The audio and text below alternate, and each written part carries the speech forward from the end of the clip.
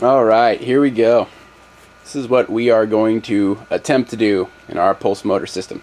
This is our uh, just our basic throw together parts right now.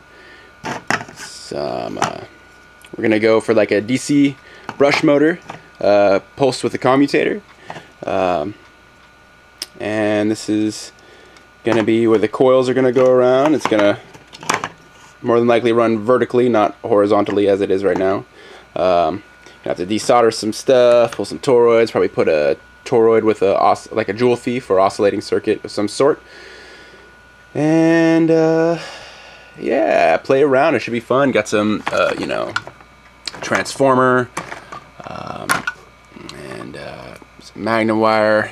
Uh, I can't remember where I pulled this transformer from, but uh, something at something at my work. But and uh, neodymiums and the power source. Uh, that's a hint.